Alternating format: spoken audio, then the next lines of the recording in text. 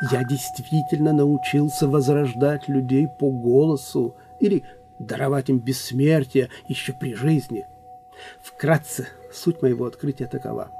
Я посылаю голоса с помощью ретрансляционной сети в космическое пространство, и они навсегда остаются в нем.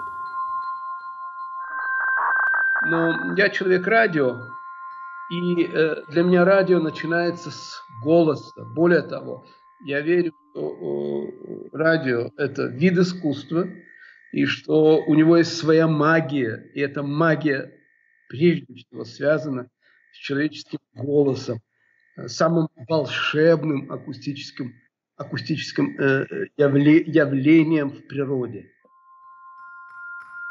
И когда ты на западном радио приходишь и говоришь, вот я хочу сделать передачу о ветрах. Я помню, лектор тогдашний наш, Радио Свобода,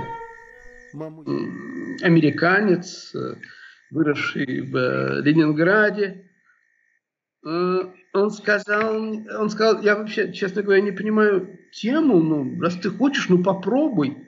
Я попробовал, я принес ему, и он был потрясен.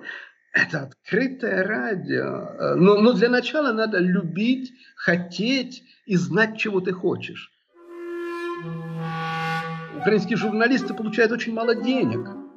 Они очень ограничены. Э, э, человек, который все время думает про деньги и как заработать, вы знаете, э, ну, ему может быть не до стихов.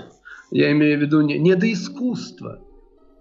Моя надежда как раз э, зиждется на том, что Украина бедная страна, в которой живут люди, лю, лю, люди у которых э, психология не бедных людей, и это видно по их лицам.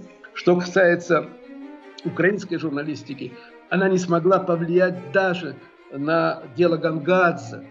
Э, это наш коллега, убитый коллега. Мы так и не смогли доискаться истины. Почему? Потому что, потому что в стране существует э, э, глубокая дисфункция.